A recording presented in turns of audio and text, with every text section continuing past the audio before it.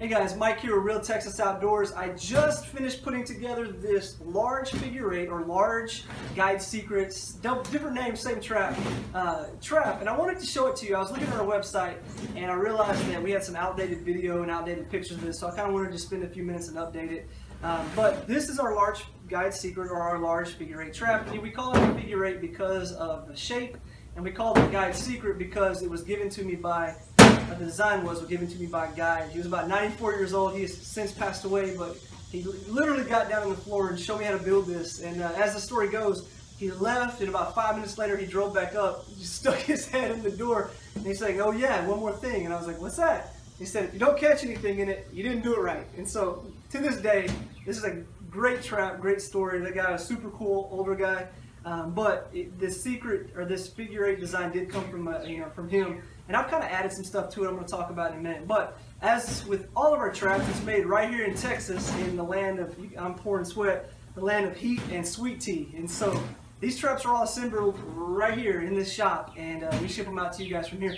And so uh, what I wanted to do was really just to go over a few, kind of highlight some things about this trap, talk about who this trap is for and what it's used for, uh, and then I'm going to bring the camera in in a few minutes and show you guys some of the some of the close-up stuff of the trap so you can actually see it. So first things first, this is, again, is our figure eight, our large figure eight, our large guide secret. And the reason we call it the large is because it's 18 inches tall. Uh, our regular figure eight is only about a, about a foot tall, and this is a good, you know, 18 inches. So it's much taller, and it's two foot by two foot going this way and this way. So two foot by two foot, 18 inch height.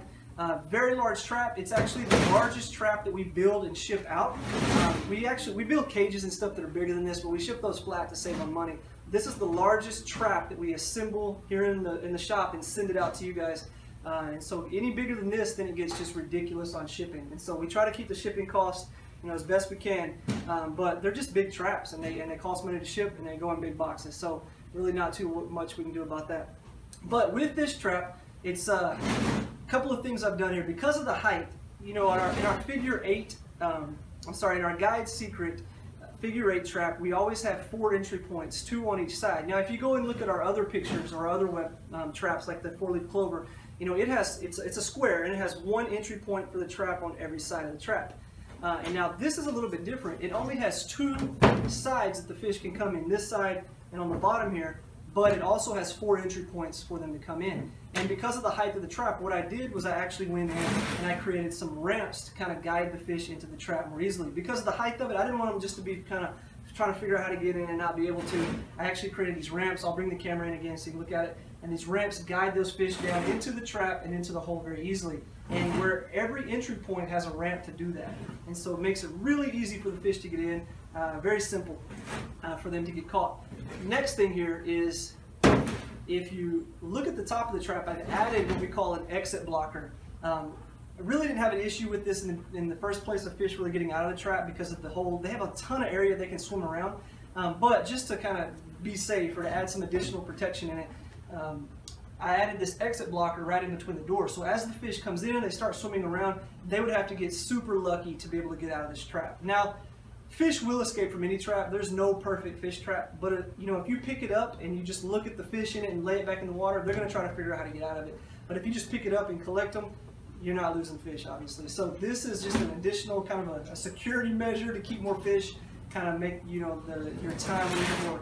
What is the right word? Time more valuable. I don't know. Just to make sure you catch more fish while the trap's in the water.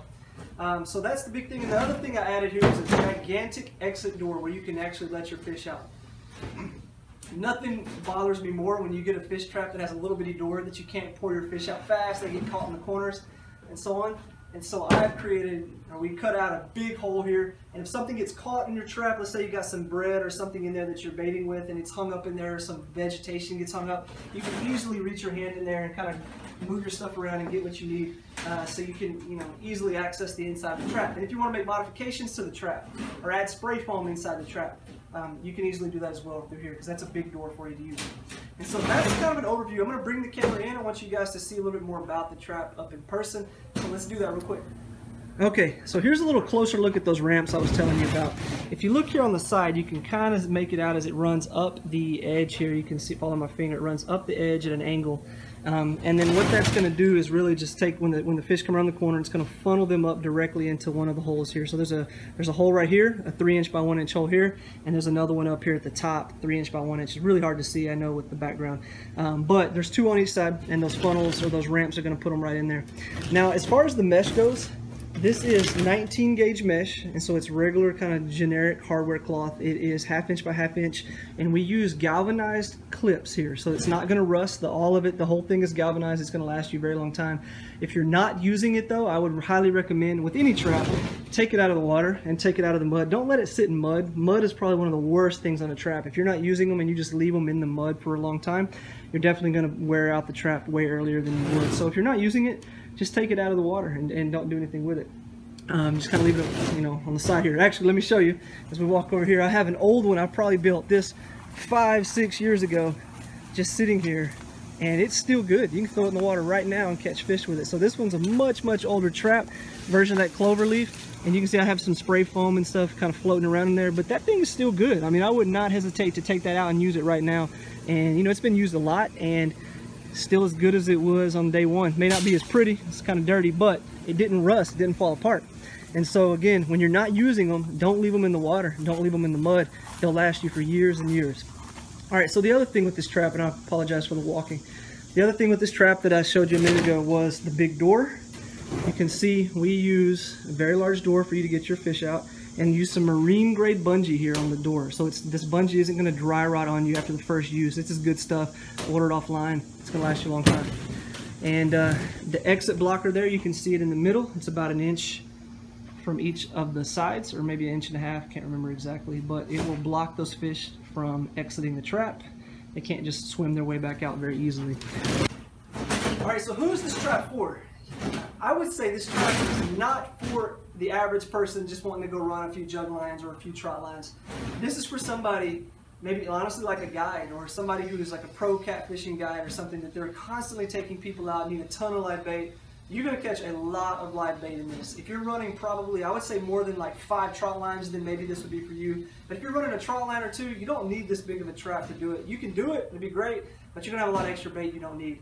Uh, so this would be for somebody, again, who is fishing a lot, somebody who is, you know, running lines regularly, who's needing tons and tons of bait. One or two of these things and you're going to be set. This is going to catch you tons and tons of, of bait fish, whatever kind you're using. You know, if you want to catch brim, sunfish, things like that. That's This is perfect for that. Uh, I wouldn't recommend this for saltwater application just because of the, the metal here. Now you could use it in saltwater, but when you take it out of the water, you're going to have to spray it down and, and make sure that you get all the salt off of it or it will corrode this mesh. Even though it's galvanized mesh, that salt will help break it down in a hurry. So um, really it's, it's freshwater application, someone who's looking for a lot, a lot of bait. Uh, these traps are currently at 65 bucks uh, on our website. Uh, we do occasionally run sales on it, so you can keep an idea or keep an eye out for that. Um, and so really that's that's pretty much it. There's not a whole lot to say about it. This, you know, I, it doesn't look like much, but it is almost like a little bit of a work of art to get everything formed and shaped. This is not a trap that you would ever just drive up to a feed store and see out front. Uh, this is professionally made here in Texas. Um, you're not just going to find one of these. It takes a while to think about how to curve everything and bend everything and cut everything. Um, and, and I would I would bet I would say that you know out of this type of mesh, this is 19 gauge mesh. It's regular hardware cloth. It's half inch by half inch. We use those galvanized clips on it, so it's not going to rust on you. Um, but I would say out of this type of mesh that you would have a very difficult time finding a more effective or better trap than this. Um, this is about as cool as it comes. Um, and so if, if this is for you, if you're trying to catch a ton of bait, you're running a ton of lines, I would highly recommend you try this one out uh, over our four-leaf clover. And uh, this is a great trap and you won't be disappointed. Again, uh, if you have any questions, just drop a comment below and I'll be sure to answer it. And thank you guys for watching. Hope you guys have a great day. God bless.